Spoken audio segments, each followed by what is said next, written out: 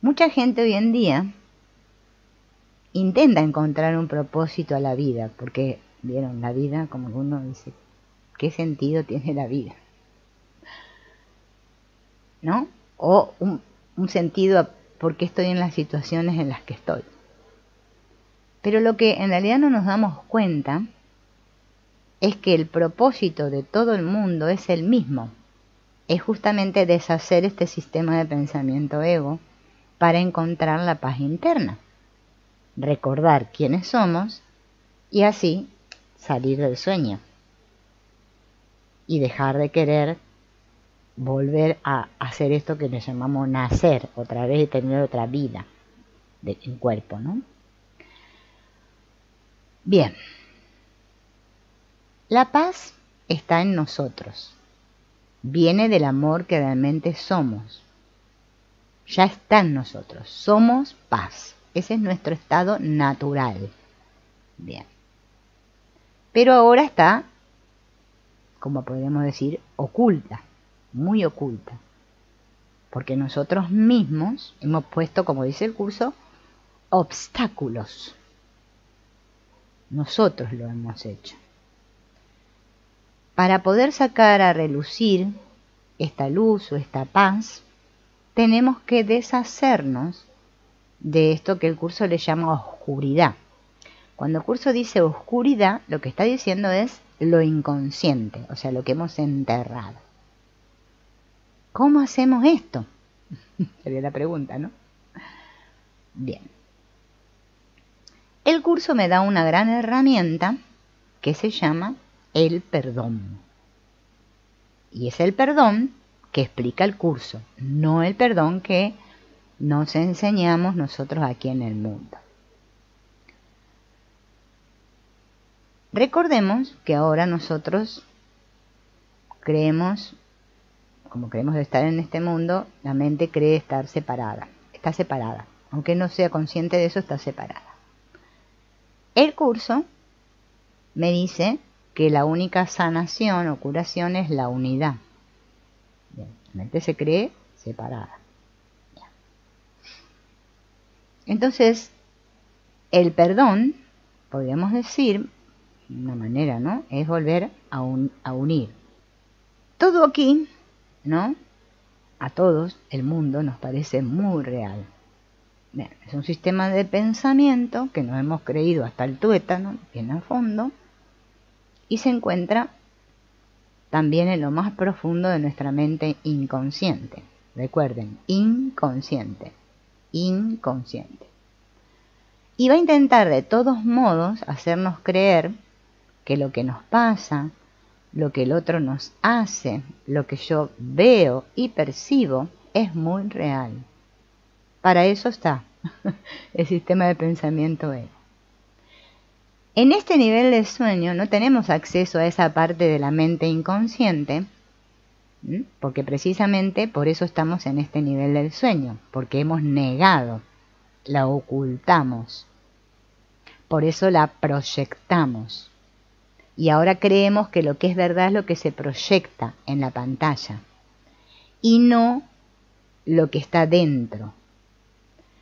Entonces ahora esa parte, ego, y que ahora nosotros nos creemos ser el ego, nos pone por delante de esta pantalla, esta identificación con una persona, y con una voz interna que percibe y juzga todo lo que ocurre en la pantalla que creemos que es nuestra realidad. Porque no sé si ustedes se dieron cuenta que nosotros ponemos en palabras o en pensamientos como que nos relatamos lo que sucede. No sé si se dieron cuenta. Bien. Estamos un poquito alterados. Bueno. Entonces nosotros le damos realidad sí. Por eso creemos que pensamos. Que pensamos por nuestra cuenta y esos pensamientos le damos mucha importancia, o sea, nos relatamos, somos como el relator, vieron, del partido de fútbol que relata la película. También a veces hablamos con otros y seguimos relatando. ¿No? Bien. El curso me dice que esto que es el mundo de la percepción no es real. Bien. nuestra percepción nos dice que sí, que es real. Así que yo, bueno, y vos también, todos, creemos que somos reales, porque claro, miren, yo estoy hablando y me toco, me, toco la mano y creo que me siento la mano. Tan fría, hace frío acá. Vemos las cosas, la forma de las cosas, las este, definimos, decimos si son duras, blandas, no sé. Vemos una persona, decimos que es buena, mala, vivimos experiencias, situaciones que nos hacen sentir cosas. Todas las experiencias que tenemos en esta vida son las que nos dan a entender que nosotros existimos y que somos reales. Somos un cuerpo, nos decimos que tiene una forma, sensaciones, percepciones, y todas las experiencias que hemos tenido desde que aparentemente decimos que nacimos, son las que nos dan a entender que somos una persona con identificación propia. Es más, nos inventamos el DNI, que es una tarjetita, le dice el número que somos de habitante, el nombre, el apellido, el día que nacimos, etcétera, etcétera. Bien. Entonces todos creemos existir en este mundo. Bien, somos, creemos ser un ente, un ente. Sin embargo, ¿cómo podemos saber si esto es real o no? Si lo único que da realidad a todo esto es nuestra percepción.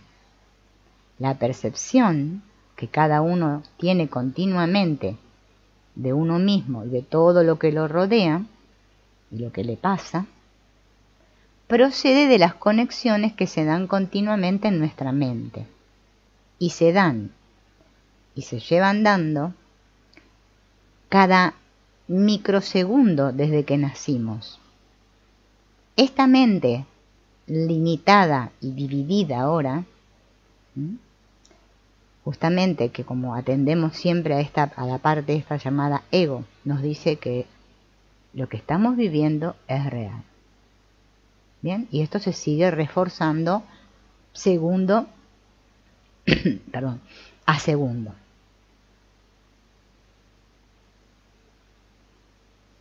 La propia vida a través de estas experiencias, ¿sí? a las que nosotros le vamos dando significado, nos dicen esto es real, esto no es real. Por eso la realidad es subjetiva y perceptual. Yo, desde mi mente aparentemente separada, tengo unas creencias, ¿sí? Y percibo el mundo diferente a como lo perciben otros, aparentemente otros que también están como yo, creyendo que estamos separados. Por eso decimos yo. Bien. Esta mente que tenemos aquí o parecemos tener es un nivel concreto, limitado, esta la que nosotros le llamamos, ¿no? Está impregnada de identificación egoica y no nos va a decir que esto no es real. El ego no nos va a decir, hey, che, date cuenta que esto es un sueño, no es real. No, el ego no. Si esperan del ego que les diga, nunca va a pasar. Bien.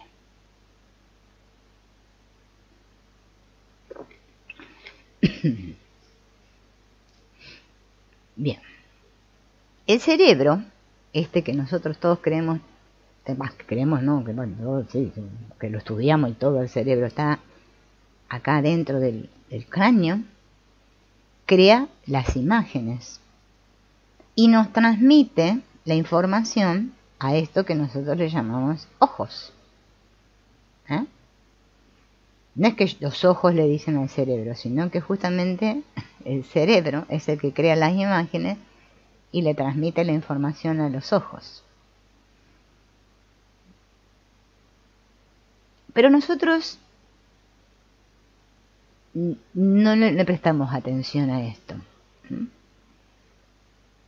La mente, de la que me habla el curso, es la que guía al cerebro que es el que capta las imágenes y las retransmite a todos nuestros sentidos, a todos nuestros sentidos corporales.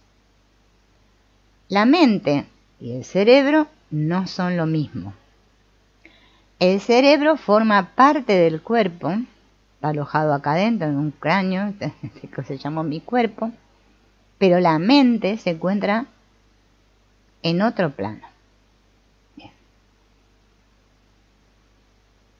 La mente y el cerebro están conectados, como cuando conecto la computadora a la internet, por ejemplo, pero no son lo mismo. Es la mente la que creó todo, incluyendo el cuerpo y por lo tanto el cerebro. Por eso el curso me dice, los cuerpos están fuera de la mente. No esta mente que yo creo ser, la limitada, no, sino la mente que, de la cual me habla el curso, están conectadas, ¿no? Nuestros cerebros como que, se tomaran la, la información de ahí. Bien. No está demostrado que el universo entero sea una proyección holográfica, pero hay avances dentro del ámbito científico que son muy interesantes. Bien, algún día se llegará a probar esto que es así, ¿no? Lo que sí está evidenciado es que el 99,999% de cada cosa que vemos, incluidos nuestros cuerpos, está compuesto de espacio vacío, energía, frecuencia y vibración. Eso es lo que somos en este mundo. También está demostrado científicamente, desde la física cuántica, que la materia es alterada cuando entra en juego la observación del ser humano ¿Mm? Están las famosas experimentos onda-partícula. ¿Por qué podría ser esto si no por la holográfica proyección de la percepción interna de cada uno? La composición química de cualquier cosa con una aparente forma se modifica cuando un ser humano la observa. La materia no es materia hasta que haya un observador que la observa. Cuando no hay nadie observando, solo son ondas de energía. Cuando la observación entra en juego, las ondas, al interactuar unas con otras, se vuelven partículas sólidas. Esto que está explicando este autor acá, que no me acuerdo cómo era el nombre, algo de Pablo, no me acuerdo, pues les voy a volver a buscar el nombre porque se me olvidó, que se llama Tu propia proyección, el libro. Eh, también lo explica este famoso desaparecido Jacobo Grimberg, que si ustedes leen los libros de él, nada más que usa otros términos que, bueno, parece que fuera otra cosa, pero es lo mismo con otras palabras. Bueno, yo siempre digo que todo es lo mismo con diferentes palabras. Pero bueno, acá estamos refiriéndonos al curso de milagros, entonces utilizamos los términos del curso. Cuando hablamos de otras cosas, utilizamos los términos de otras cosas. Y es lo mismo. Entonces, cada cosa que nosotros hacemos, que vemos, que sentimos, que creemos, es una percepción propia. No hay una realidad. Hay múltiples realidades. Hablando de realidad con minúscula. ¿eh?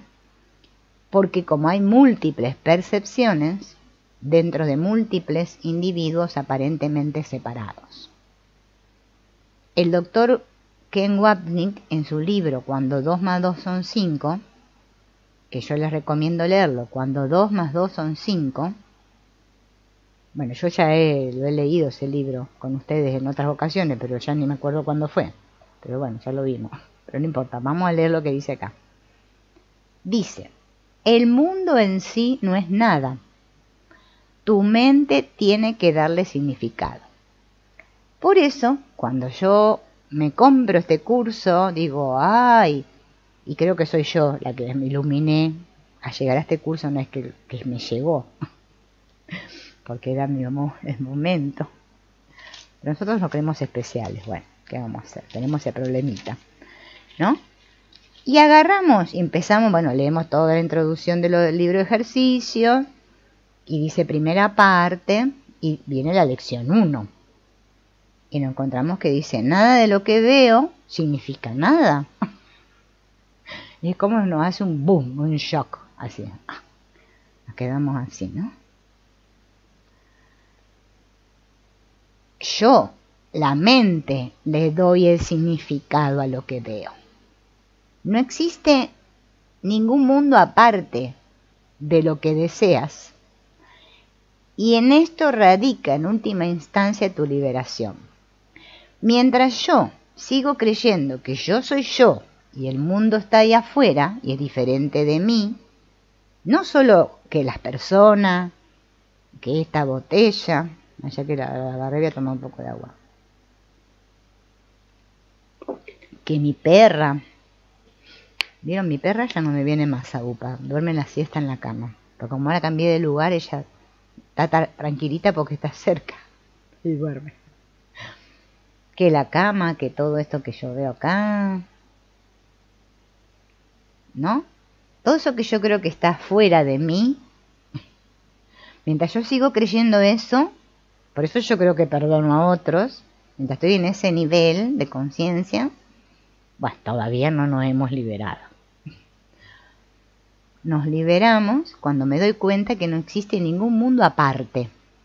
Porque el asunto de creerme una parte o aparte fue el asunto todo este del lío este en el que estamos todos metidos. Bien.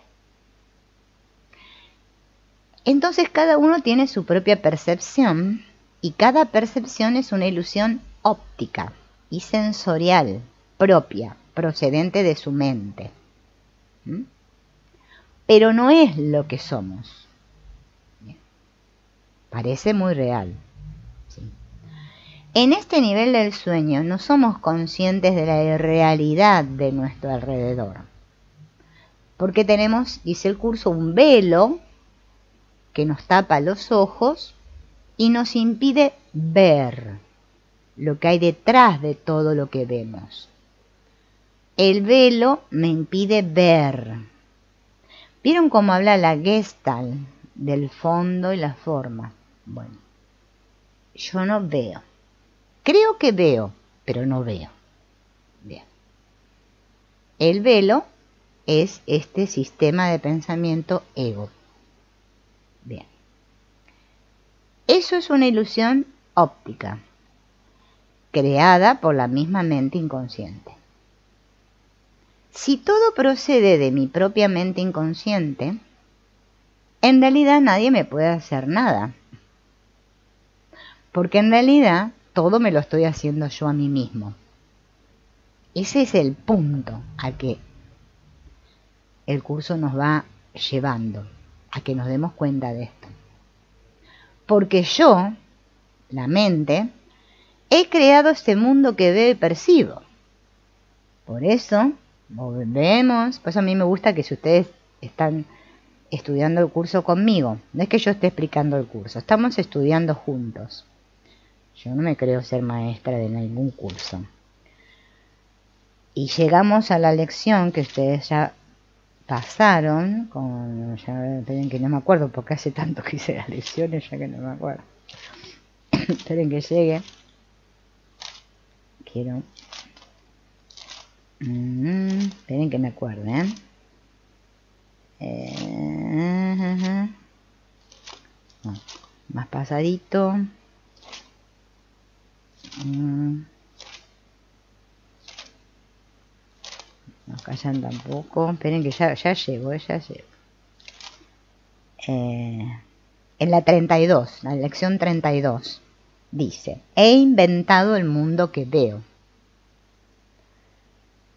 no eres víctima del mundo, me dice, que ves, porque tú mismo lo inventaste. Claro, yo como todavía estoy estudiando este curso desde mi sistema de pensamiento de ego, creo que yo como Silvina digo, ay, qué cagada que me mandé, qué mundo de mierda que me hice para mí, qué historia de miércoles. Bueno, no, tienen que olvidarse de la persona. Yo la mente inventé este mundo. Pero yo puedo renunciar a él, me dice acá. Con la misma facilidad con la que lo construí. Lo que pasa que yo no lo deseo, no lo deseo, porque todo el problema vino de un deseo. Parece que quise, pero yo no me olvido que quise. Por eso no quiero ser responsable. Y le echo la culpa al mundo. Bien. Entonces, cada uno de nosotros, como queremos estar separados, estos fragmentos de mente, creamos la película, este mundo, el que yo llamo el mundo, pero me olvido. Porque el mundo entero es la proyección del conjunto de todas nuestras mentes, aparentemente separadas, que en realidad son una solamente, que proyectaron este mundo. Con los cuerpos y todo, apareció todo junto así, sin salabín, pum, todo junto. todo lo que yo veo y percibo, en realidad son símbolos que están en mi mente inconsciente. Son imágenes que yo mismo he creado. Por eso cuando también vamos a la lección, una de las primeras también, que dice mis pensamientos, creo que la 15 era, no me acuerdo. A ver, creo que la 15. A ver, es la 15. Sí. Mis pensamientos son imágenes que yo mismo he fabricado. Entonces, todo lo que veo y percibo, entonces son símbolos que están en mi mente inconsciente. Imágenes que yo mismo he fabricado. Y en esas imágenes proyecto amor o miedo proyecto, amor o miedo. Y estas proyecciones se dan en forma de emociones y sensaciones. Yo las experimento en mi cuerpo, parece, ¿no? Me siento mal, ¿sí? Veo a tal persona y me, no sé, me da miedo, me irrita, no sé qué. ¿eh? Este sistema de pensamiento dual, eh, perdón, no dual, el, el, curso de Sedasa, en que yo soy la causa de todo. O sea, me dice, tienes que volver a la mente, que es la causa, para darte cuenta que ahí está el origen de todo. La mente es la causa, el mundo es el efecto. En la en el estado alterado en el que está la mente, perdón, yo ahora creo que es al revés. Ven que me agarró picazón de Es al revés. Yo digo, no, la causa es el mundo y yo soy el efecto. Por eso creo que me lo hacen, que yo estoy siendo soñado. Bien.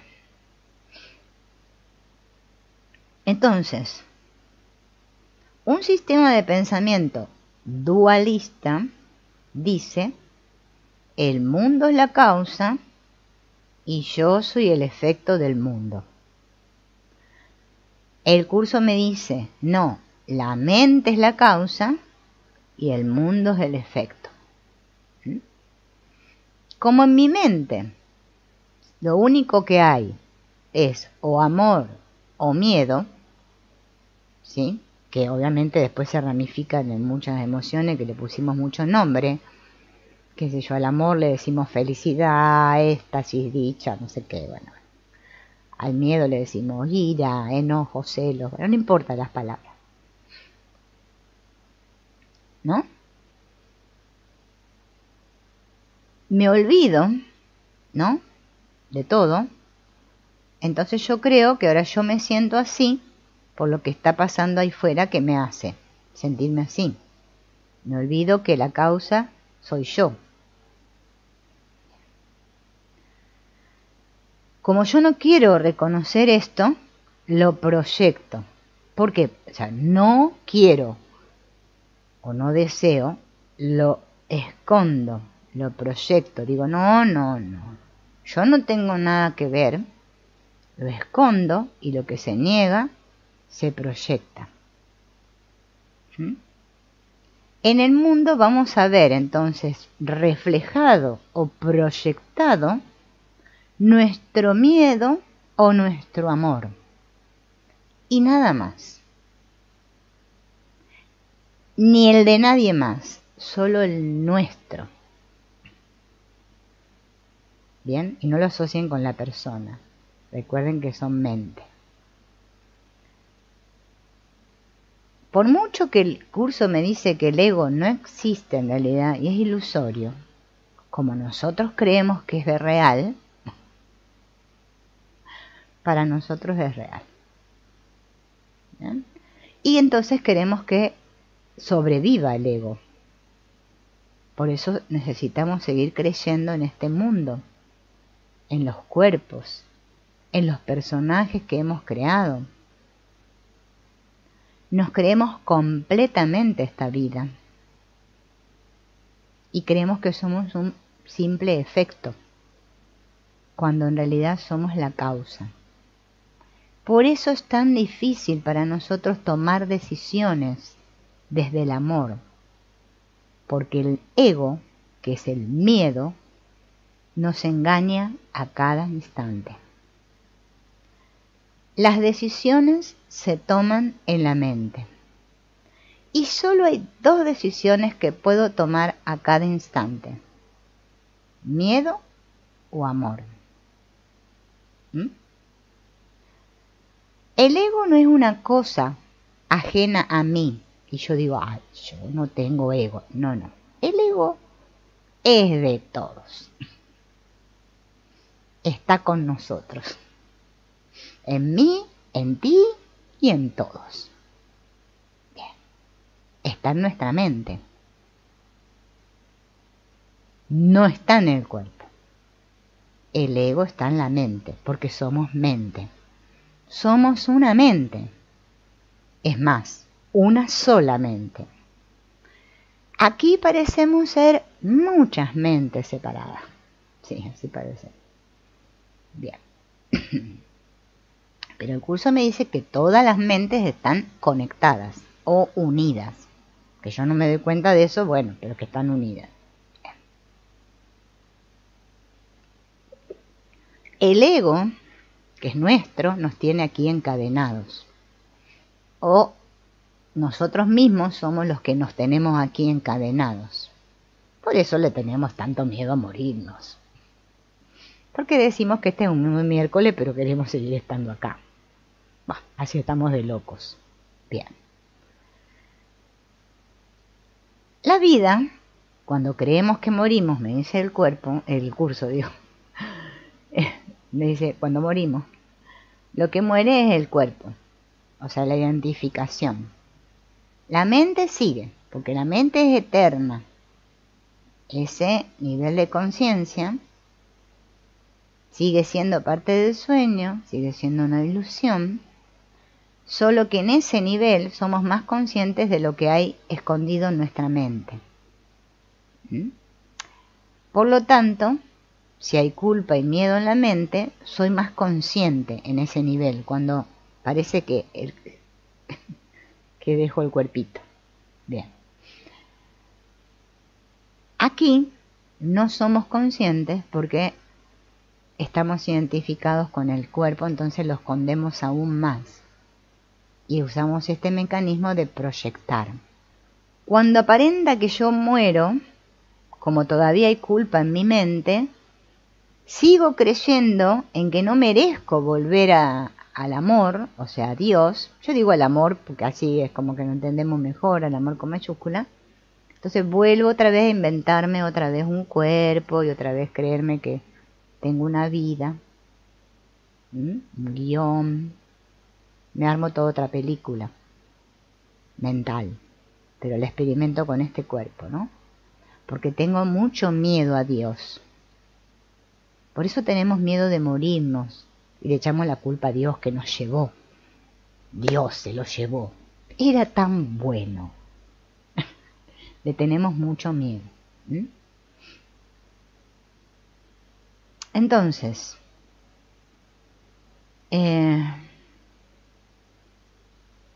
No hay que tenerle miedo a la muerte. La muerte es nuestra amiga. Es solo un sueño. Tampoco es que vayas y te tires por un precipicio porque la muerte no existe, no. Yo recomiendo vivir esta experiencia. Bien.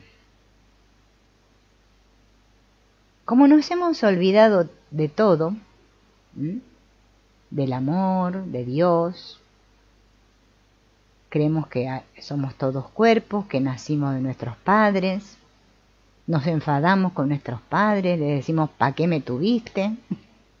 Yo no te pedí nacer. Bueno, pasamos por todas esas cosas, ¿no? Como es así el asunto. Porque yo nací pobre y el otro nació rico? Qué desgracia mi vida.